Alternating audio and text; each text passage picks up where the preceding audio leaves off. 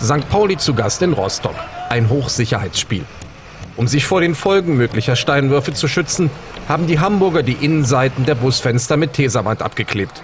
2000 Polizisten sollen Randale rund um diesen Zweitligakick verhindern. Verhindern, dass die Anhänger der beiden Clubs aufeinandertreffen. Beim letzten Mal gab es Straßenschlachten.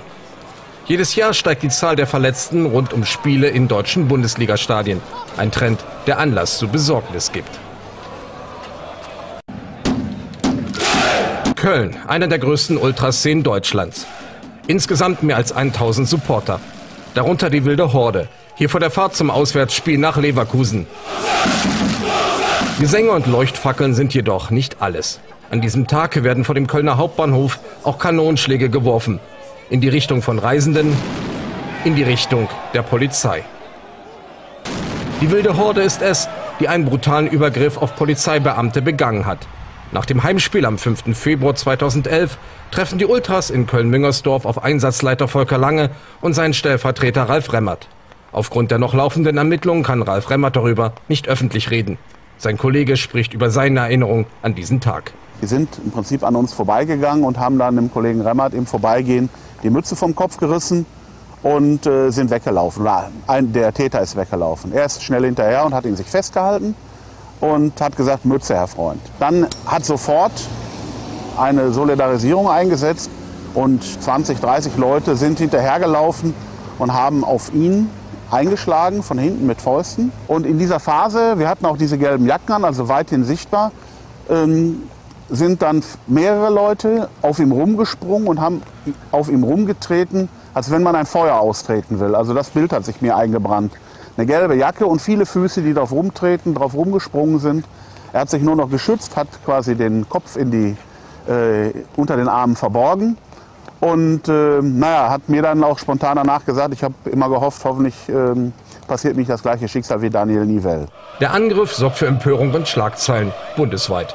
Der Fall hätte aber auch durchaus noch ganz anders ausgehen können, sagen Polizisten, die die Szene kennen.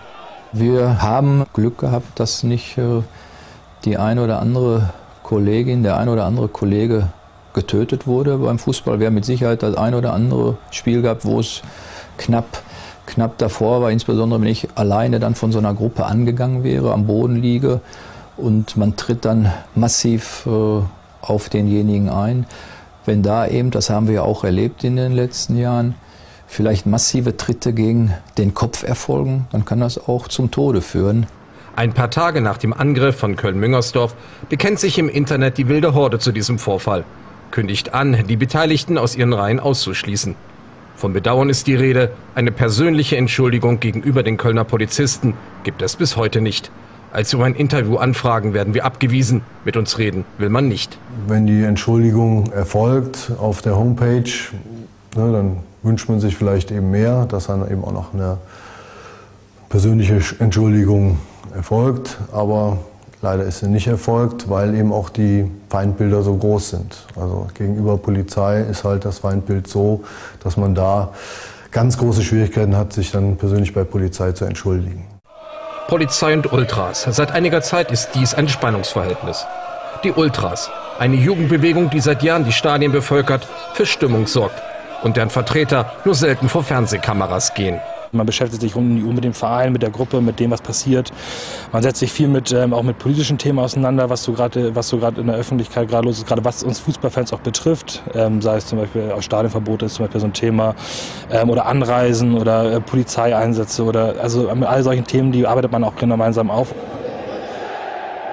Genauso ähm, ist man hat, hat so eine Gruppe vor allem auch eine, eine unheimlich hohe soziale Funktion, weil wir die, die Schicht, aus der wir kommen, dieses unterschiedlich. Von 16 bis über 50 haben wir Leute, die bei uns Mitglied sind.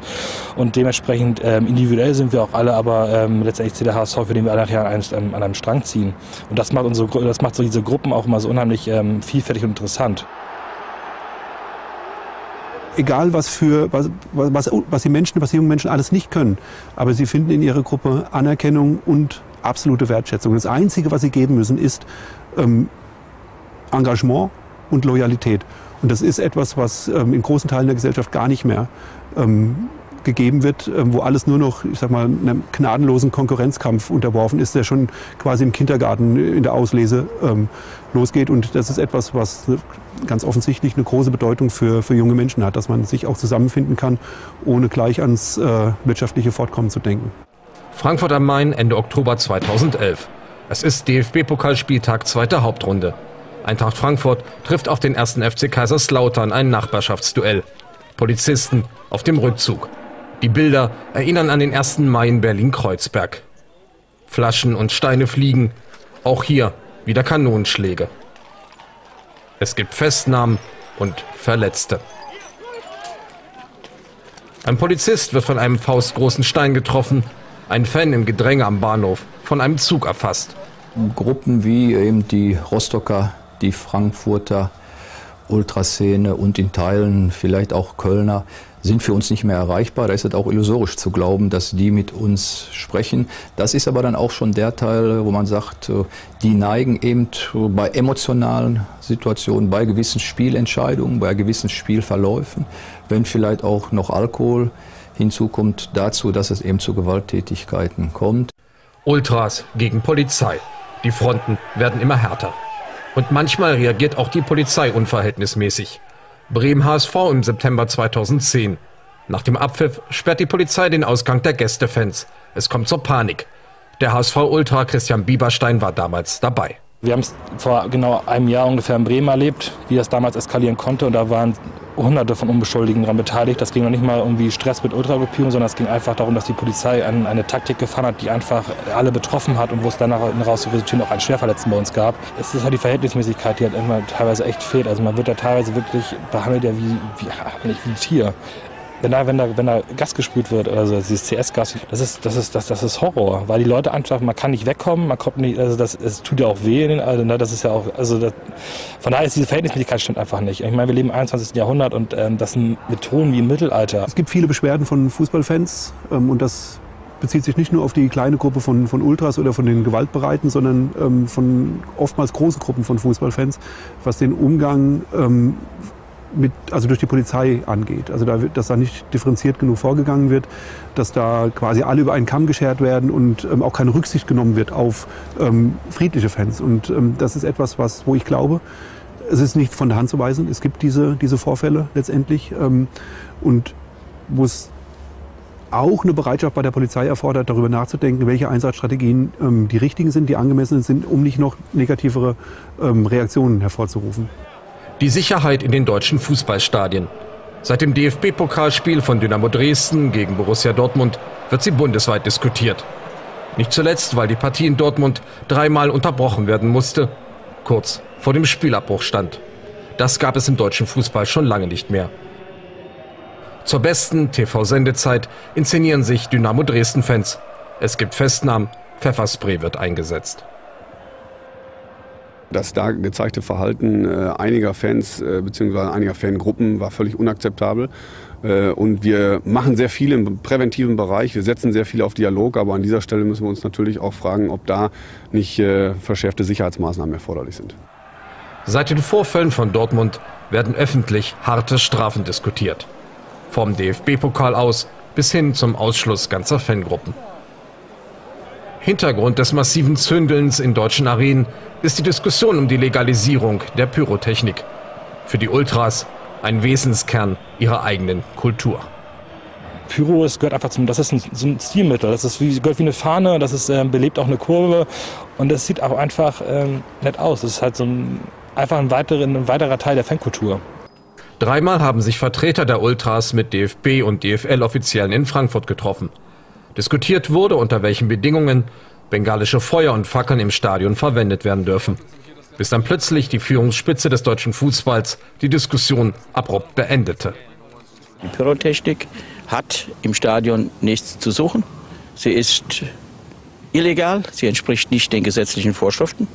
Und das heißt, wenn es gemacht wird, begeht man einen Gesetzesverstoß. Und auf dieser Grundlage muss, soweit die Kapazitäten reichen, eingeschritten werden. Der unkontrollierte Umgang mit Pyrotechnik. Bei Nürnberger Fans führte das im Frühjahr 2010 zu zwei Schwerverletzten. Insgesamt hat sich die Zahl der in Mitleidenschaft gezogenen Personen bei Spielen der ersten und zweiten Bundesliga in den letzten fünf Jahren verdoppelt. Von den über 800 Verletzten in der letzten Saison waren mehr als ein Drittel Unbeteiligte die Erhöhung der Verletzten ähm, von unbeteiligten Personen. Das ist zum einen, dass auch von Fanseiten ähm, neben bengalischen Fackeln oftmals jetzt Böller eingesetzt werden, die zu Schädigungen, ähm, Knalltraumata und Schlimmerem führen, ähm, wo man gar nicht einschätzen kann, wen man letztendlich trifft, wenn so ein Böller, jetzt Münster gegen Osnabrück ist ja so ein Beispiel gewesen, fatale Folgen. Das ist das eine. Das andere ist, ähm, dass der, auch der Einsatz von CS-Gas, der ist nicht zielgerichtet einzusetzen oder in ganz geringen Fällen. Und ähm, das wir haben das Beispiel gehabt, Darmstadt 98 gegen Erfurt. Darmstadt spielt in Erfurt. Da wird von 55 verletzten Personen, auch Polizeibeamten gesprochen. Und alle denken, es war aufgrund von Auseinandersetzungen zwischen Fangruppen. Letztendlich hat sich herausgestellt, dass 52 der Verletzungen durch den Einsatz von CS-Gas gekommen sind. Die Ultras, eine neue radikale Jugendbewegung, bevölkert die deutschen Stadien. Sie wollen bei den Entscheidungen ihrer Fußballclubs mitreden. Zornig sein, wenn ihre Stars lustlos kicken. Das sind alles Sachen, die uns Fans betreffen. Das ist unsere Materie. Da werden Namen geändert, Vereinsnamen geändert, Stadion geändert. Da natürlich wollen wir damit reden. Und das ist auch, das ist auch unser Anspruch und das ist auch gut, dass es so ist. Und ähm, nur weil wir in der Kurve stehen, sind wir ja nicht die, sind wir, sind wir nicht die, die schlechteren Entscheider, sondern wir, wir hängen mit Herz an dem Verein. Wir wollen den Verein nicht Schlechtes, aber wir möchten auch unsere Identität behalten. Und die Identität ist unser Verein und äh, nicht irgendein künstlerisch erzeugtes Objekt, was man nach außen gut äh, verkaufen kann. Engagement bis hin zum Fanatismus. Fanatismus, der manchmal keine Grenzen mehr kennt der die Staatsmacht herausfordert.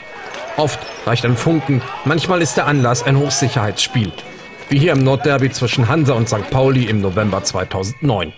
Wir stehen im Moment auf so einer Stelle, wo sich äh, die Waage ausschlagen wird. Gehen wir weiter in dem Bereich, dass die Gewalttätigkeiten zunehmen oder kriegen wir einfach da diese Sache in den Griff? Dafür ist Voraussetzung, dass jeder die Rolle des anderen versteht und akzeptiert, dass jeder bereit ist, äh, eben diese Störergruppen zu benennen auch und dass wir sie aus der Anonymität äh, eben drängen. Und wenn das nicht passiert, glaube ich, werden die Zahlen uns einholen und wir werden weiter so dramatische Zahlen haben. Diese kühle geplante, kalte Gewalt, die in Teilen der Ultragruppen auch angewendet wird, ist eine, die ähm, auch für den Fußball gefährlich, nicht nur für die Menschen gefährlich, sondern auch für, für die Entwicklung innerhalb der Fanszene gefährlich ist. Aber ähm, es ist passiert nicht nur im Fußball, tatsächlich nicht nur im Fußball. Und ähm, Fußball sind wahrscheinlich die Kräfte, ähm, die man dagegen einsetzen kann. Und das ist meistens Kommunikation, das ist äh, Miteinander. Die sind stärker ausgeprägt als in anderen Teilen der Gesellschaft. Das ist meistens der Fall leider so, dass die Polizei halt am Ende sagt, nö, wir machen das jetzt so. Und ähm, natürlich sind wir damit unzufrieden. Und natürlich sind Gruppen damit unzufrieden. Und das ist ähm, vollkommen legitim. Also ähm, weil Dialog, wenn Dialog stattfindet, muss man Lösungen finden. Und ähm, Lösungen werden leider viel zu selten gesucht. Und wenn sie gesucht werden, werden sie nicht umgesetzt. Und das finde ich mal relativ schade. Fans gegen Polizei. Ein Ausweg scheint nicht in Sicht.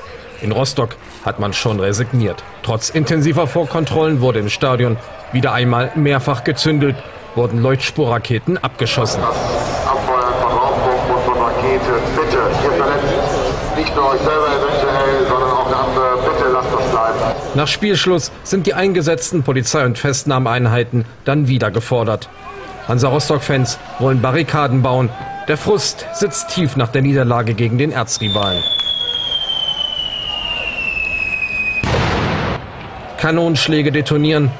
Bei ihrer Abfahrt werden drei St. Pauli-Busse mit Steinen beworfen.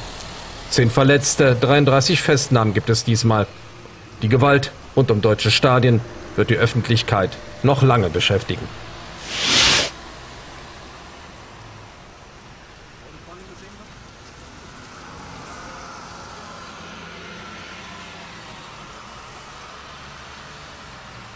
werden dürfen bis dann plötzlich die Führungsspitze des deutschen Fußballs die Diskussion abrupt beendete. Die Pyrotechnik hat im Stadion nichts zu suchen. Sie ist illegal, sie entspricht nicht den gesetzlichen Vorschriften. Und das heißt, wenn es gemacht wird, begeht man einen Gesetzesverstoß. Und auf dieser Grundlage muss, soweit die Kapazitäten reichen, eingeschritten werden. Der unkontrollierte Umgang mit Pyrotechnik. Bei Nürnberger Fans führte das im Frühjahr 2010 zu zwei Schwerverletzten. Insgesamt hat sich die Zahl der in Mitleidenschaft gezogenen Personen bei Spielen der ersten und zweiten Bundesliga in den letzten fünf Jahren verdoppelt. Von den über 800 Verletzten in der letzten Saison waren mehr als ein Drittel Unbeteiligte die Erhöhung der Verletzten ähm, von unbeteiligten Personen. Das ist zum einen, dass auch von Fanseiten ähm, neben bengalischen Fackeln oftmals jetzt Böller eingesetzt werden, die zu Schädigungen, ähm, Knalltraumata und Schlimmerem führen, ähm, wo man gar nicht einschätzen kann, wen man letztendlich trifft, wenn so ein Böller, jetzt Münster gegen Osnabrück ist ja so ein Beispiel gewesen, fatale Folgen. Das ist das eine. Das andere ist, ähm, dass der, auch der Einsatz von CS-Gas, der ist nicht zielgerichtet einzusetzen oder in ganz geringen Fällen. Und ähm, das wir haben das Beispiel gehabt, Darmstadt 98 gegen Erfurt. Darmstadt spielt in Erfurt. Da wird von 55 verletzten Personen, auch Polizeibeamten gesprochen. Und alle denken, es war aufgrund von Auseinandersetzungen zwischen Fangruppen. Letztendlich hat sich herausgestellt, dass 52 der Verletzungen durch den Einsatz von CS-Gas gekommen sind. Die Ultras, eine neue radikale Jugendbewegung, bevölkert die deutschen Stadien. Sie wollen bei den Entscheidungen ihrer Fußballclubs mitreden. Zornig sein, wenn ihre Stars lustlos kicken. Das sind alles Sachen, die uns Fans betreffen. Das ist unsere Materie. Da werden Namen geändert, Vereinsnamen geändert, Stadion geändert. Da natürlich wollen wir damit reden. Und das ist auch, das ist auch unser Anspruch und das ist auch gut, dass es so ist. Und ähm, nur weil wir in der Kurve stehen, sind wir ja nicht die, sind wir, sind wir nicht die, die schlechteren Entscheider, sondern wir, wir hängen mit Herz an dem Verein wir wollen dem Verein nichts Schlechtes. Aber wir möchten auch unsere Identität behalten. Und die Identität ist unser Verein und äh, nicht irgendein künstlerisch erzeugtes Objekt, was man nach außen gut äh, verkaufen kann. Engagement bis hin zum Fanatismus. Fanatismus, der manchmal keine Grenzen mehr kennt der die Staatsmacht herausfordert. Oft reicht ein Funken, manchmal ist der Anlass ein Hochsicherheitsspiel. Wie hier im Nordderby zwischen Hansa und St. Pauli im November 2009. Wir stehen im Moment auf so einer Stelle, wo sich äh, die Waage ausschlagen wird. Gehen wir weiter in dem Bereich, dass die Gewalttätigkeiten zunehmen oder kriegen wir einfach da diese Sache in den Griff? Dafür ist Voraussetzung, dass jeder die Rolle des anderen versteht und akzeptiert, dass jeder bereit ist, äh, eben diese Störergruppen zu benennen auch und dass wir sie aus der Anonymität äh, eben drängen. Und wenn das nicht passiert, glaube ich, werden die Zahlen uns ein. Präventiven Bereich, wir setzen sehr viel auf Dialog, aber an dieser Stelle müssen wir uns natürlich auch fragen, ob da nicht äh, verschärfte Sicherheitsmaßnahmen erforderlich sind. Seit den Vorfällen von Dortmund werden öffentlich harte Strafen diskutiert. Vom DFB-Pokal aus bis hin zum Ausschluss ganzer Fangruppen. Hintergrund des massiven Zündelns in deutschen Arenen ist die Diskussion um die Legalisierung der Pyrotechnik. Für die Ultras ein Wesenskern ihrer eigenen Kultur. Pyro ist, gehört einfach zum, das ist ein, so ein Stilmittel, das ist wie, gehört wie eine Fahne, das ist, äh, belebt auch eine Kurve und das sieht auch einfach ähm, nett aus. Das ist halt so ein, einfach ein, weiteren, ein weiterer Teil der Fankultur. Dreimal haben sich Vertreter der Ultras mit DFB und DFL-Offiziellen in Frankfurt getroffen. Diskutiert wurde, unter welchen Bedingungen bengalische Feuer und Fackeln im Stadion verwendet werden dürfen. Bis dann plötzlich die Führungsspitze des deutschen Fußballs die Diskussion abrupt beendete. Die Pyrotechnik hat im Stadion nichts zu suchen. Sie ist illegal, sie entspricht nicht den gesetzlichen Vorschriften. Und das heißt, wenn es gemacht wird, begeht man einen Gesetzesverstoß. Und auf dieser Grundlage muss, soweit die Kapazitäten reichen, eingeschritten werden. Der unkontrollierte Umgang mit Pyrotechnik. Bei Nürnberger Fans führte das im Frühjahr 2010 zu zwei Schwerverletzten. Insgesamt hat sich die Zahl der in Mitleidenschaft gezogenen Personen bei Spielen der ersten und zweiten Bundesliga in den letzten fünf Jahren verdoppelt. Von den über 800 Verletzten in der letzten Saison waren mehr als ein Drittel Unbeteiligte die Erhöhung der Verletzten ähm, von unbeteiligten Personen. Das ist zum einen, dass auch von Fanseiten ähm, neben bengalischen Fackeln oftmals jetzt Böller eingesetzt werden, die zu Schädigungen, ähm, Knalltraumata und Schlimmerem führen, ähm, wo man gar nicht einschätzen kann, wen man letztendlich trifft, wenn so ein Böller, jetzt Münster gegen Osnabrück ist ja so ein Beispiel gewesen, fatale Folgen. Das ist das eine. Das andere ist, ähm, dass der, auch der Einsatz von CS-Gas, der ist nicht zielgerichtet einzusetzen oder in ganz geringen Fällen. Und ähm, das wir haben das Beispiel gehabt, Darmstadt 98 gegen Erfurt. Darmstadt spielt in Erfurt. Da wird von 55 verletzten Personen, auch Polizeibeamten gesprochen. Und alle denken, es war aufgrund von Auseinandersetzungen zwischen Fangruppen. Letztendlich hat sich herausgestellt, dass 52 der Verletzungen durch den Einsatz von CS-Gas gekommen sind. Die Ultras, eine neue radikale Jugendbewegung, bevölkert die deutschen Stadien. Sie wollen bei den Entscheidungen ihrer Fußballclubs mitreden. Zornig sein, wenn ihre Stars lustlos kicken. Das sind alles Sachen, die uns Fans betreffen. Das ist unsere Materie. Da werden Namen geändert, Vereinsnamen geändert, Stadion geändert. Da natürlich wollen wir damit reden. Und das ist auch, das ist auch unser Anspruch und das ist auch gut, dass es so ist. Und ähm, nur weil wir in der Kurve stehen, sind wir ja nicht die, sind wir, sind wir ja nicht die, die schlechteren Entscheider, sondern wir, wir hängen mit Herz an dem Verein. Wir wollen den Verein nicht schlechtes, aber wir möchten auch unsere Identität behalten. Und die Identität ist unser Verein und äh, nicht irgendein künstlerisch erzeugtes Objekt, was man nach außen gut äh, verkaufen kann. Das ist im deutschen Fußball schon lange nicht mehr. Zur besten TV-Sendezeit inszenieren sich Dynamo Dresden-Fans. Es gibt Festnahmen, Pfefferspray wird eingesetzt. Das da gezeigte Verhalten äh, einiger Fans äh, bzw. einiger Fangruppen war völlig unakzeptabel. Äh, und wir machen sehr viel im präventiven Bereich. Wir setzen sehr viel auf Dialog, aber an dieser Stelle müssen wir uns natürlich auch fragen, ob da nicht verschärfte Sicherheitsmaßnahmen erforderlich sind. Seit den Vorfällen von Dortmund werden öffentlich harte Strafen diskutiert. Vom DFB-Pokal aus bis hin zum Ausschluss ganzer Fangruppen. Hintergrund des massiven Zündelns in deutschen Arenen ist die Diskussion um die Legalisierung der Pyrotechnik. Für die Ultras ein Wesenskern ihrer eigenen Kultur. Pyro ist, gehört einfach zum, das ist ein, so ein Stilmittel, das ist wie, gehört wie eine Fahne, das ist, äh, belebt auch eine Kurve und das sieht auch einfach ähm, nett aus. Das ist halt so ein, einfach ein, weiterer, ein weiterer Teil der Fankultur. Dreimal haben sich Vertreter der Ultras mit DFB und DFL-Offiziellen in Frankfurt getroffen. Diskutiert wurde, unter welchen Bedingungen bengalische Feuer und Fackeln im Stadion verwendet werden dürfen. Bis dann plötzlich die Führungsspitze des deutschen Fußballs die Diskussion abrupt beendete.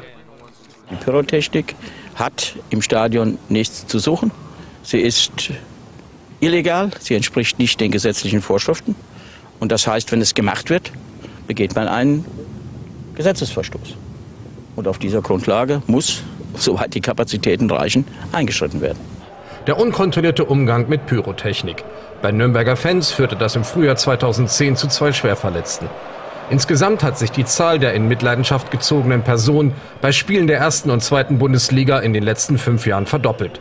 Von den über 800 Verletzten in der letzten Saison waren mehr als ein Drittel Unbeteiligte die Erhöhung der Verletzten ähm, von unbeteiligten Personen.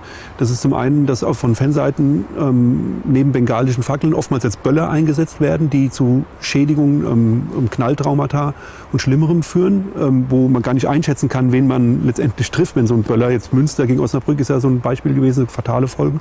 Das ist das eine. Das andere ist, ähm, dass der, auch der Einsatz von CS-Gas, der ist nicht zielgerichtet einzusetzen oder in ganz geringen Fällen und ähm, das wir haben das Beispiel gehabt, Darmstadt 98 gegen Erfurt. Darmstadt spielt in Erfurt. Da wird von 55 verletzten Personen, auch Polizeibeamten gesprochen.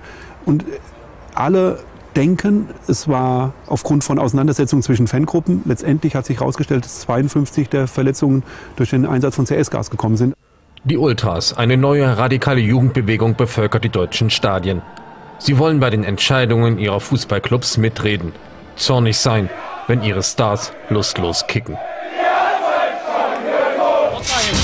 Sind alles Sachen, die uns Fans betreffen. Das ist unsere Materie. Da werden Namen geändert und das macht, unsere, das macht so diese Gruppen auch immer so unheimlich ähm, vielfältig und interessant. Egal was für was, was, was die Menschen, was die jungen Menschen alles nicht können, aber sie finden in ihrer Gruppe Anerkennung und absolute Wertschätzung. Das Einzige, was sie geben müssen, ist ähm, Engagement und Loyalität. Und das ist etwas, was ähm, in großen Teilen der Gesellschaft gar nicht mehr ähm, gegeben wird, ähm, wo alles nur noch, ich sag mal, einem gnadenlosen Konkurrenzkampf unterworfen ist, der schon quasi im Kindergarten in der Auslese ähm, losgeht. Und das ist etwas, was ganz offensichtlich eine große Bedeutung für, für junge Menschen hat, dass man sich auch zusammenfinden kann, ohne gleich ans äh, wirtschaftliche Fortkommen zu denken. Frankfurt am Main Ende Oktober 2011. Es ist DFB-Pokalspieltag zweiter Hauptrunde. Eintracht Frankfurt trifft auf den ersten FC Kaiserslautern ein Nachbarschaftsduell. Polizisten auf dem Rückzug. Die Bilder erinnern an den 1. Mai in Berlin-Kreuzberg. Flaschen und Steine fliegen, auch hier wieder Kanonenschläge. Es gibt Festnahmen und Verletzte. Ein Polizist wird von einem faustgroßen Stein getroffen, ein Fan im Gedränge am Bahnhof von einem Zug erfasst. Gruppen wie eben die Rostocker, die Frankfurter Ultraszene und in Teilen vielleicht auch Kölner sind für uns nicht mehr erreichbar. Da ist es auch illusorisch zu glauben, dass die mit uns sprechen. Das ist aber dann auch schon der Teil, wo man sagt, äh, die neigen eben bei emotionalen Situationen, bei gewissen Spielentscheidungen, bei gewissen Spielverläufen, wenn vielleicht auch noch Alkohol hinzukommt, dazu, dass es eben zu Gewalttätigkeiten kommt.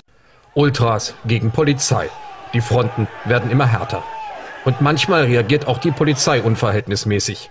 Bremen HSV im September 2010. Nach dem Abpfiff sperrt die Polizei den Ausgang der Gästefans. Es kommt zur Panik.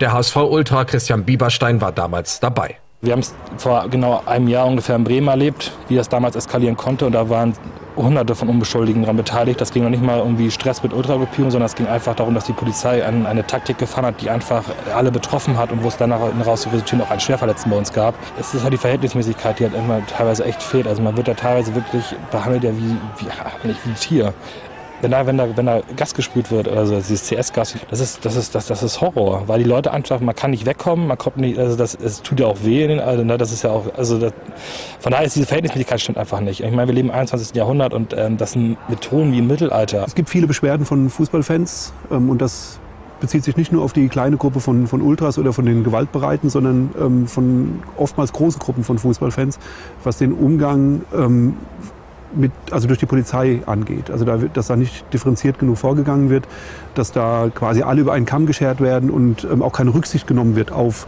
ähm, friedliche